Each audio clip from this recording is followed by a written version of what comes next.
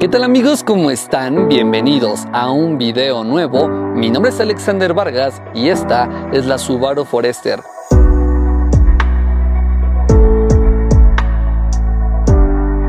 una de las propuestas más interesantes, completas y que también apuntan al off-road. Así que en esta ocasión les cuento lo más importante. Bueno, esta es una de las subcompactas más interesantes y completas del mercado. Realmente me ha gustado mucho, así que si te parece comencemos como siempre por hablar del diseño ya que en esta actualización de una imagen mucho más atrevida y sobre todo aventurera. Realmente me gusta este carácter que tiene, que al final es algo conservador pero tiene esa esencia de Subaru que tanto nos gusta.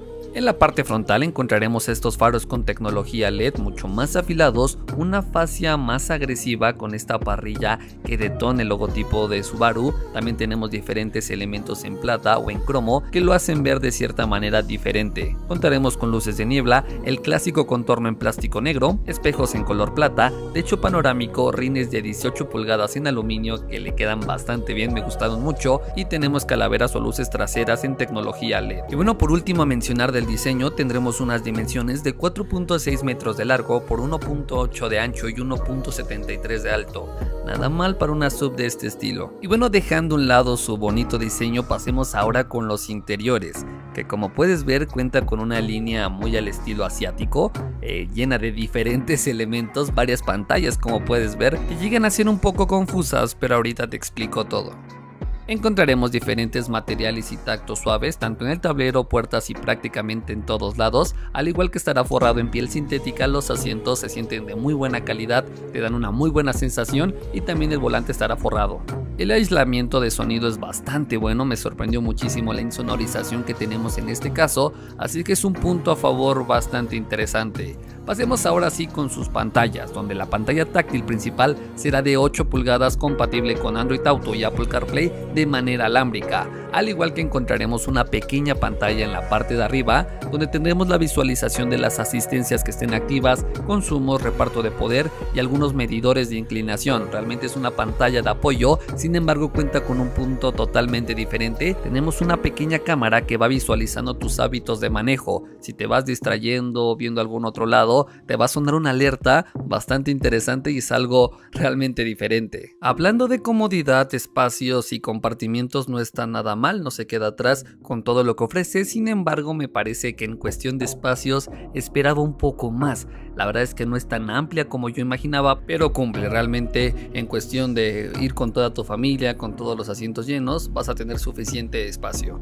Tendremos también un quemacocos bastante amplio que prácticamente es un techo panorámico, aire acondicionado automático de doble zona, freno de estacionamiento electrónico, espejo electrocrómico y varios puertos USB. En cuanto a la seguridad, que es uno de sus puntos más fuertes, encontraremos todo el sistema de EyeSight por parte de Subaru, que incluye freno autónomo de emergencia, alerta de punto ciego, alerta de abandono de carril, mantenimiento de carril, cámara de reversa con freno autónomo y control de velocidad de crucero adaptativo. Además de 8 bolsas de aire, ABS, control de estabilidad, asistente de ascenso y descenso en pendientes. Como ven, nada mal y una de las opciones más completas en este apartado. Y bueno, ha llegado el momento de hablar de uno de mis apartados favoritos, la motorización o mecánica, donde en este caso encontraremos un motor atmosférico de 2.5 litros que genera 182 caballos de fuerza y 176 libras-pie de torque.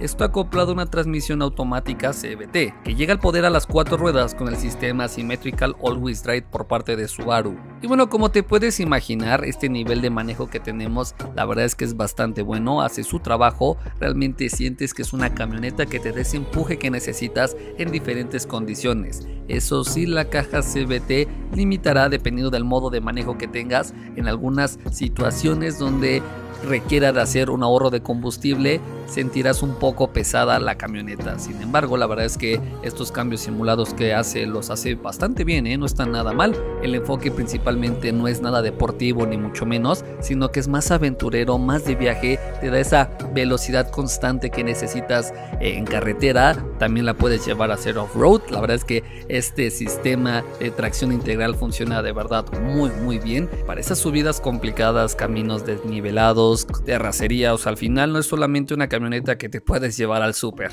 Hablando de los consumos, y no esperes que sea la opción más ahorrativa del mercado porque no lo es, puede darte unos 9.5 kilómetros por litro en ciudad con un tráfico moderado eh, dependiendo también de tus hábitos de manejo, aproximadamente esto fue lo que me dio. Y bueno, como ya viste, esta Subaru Forester cuenta con todo lo necesario para ser una increíble opción. Realmente todos estos puntos lo integran y se adaptan cada uno de ellos, tanto la seguridad, comodidad, nivel de manejo, diseño, y lo hacen ser una de las mejores opciones de este tipo de subs que podemos encontrar en el mercado. Realmente estas condiciones de manejo que tiene te permite tener una opción muy versátil que se pueda adaptar a cualquier entorno hasta las situaciones más complicadas.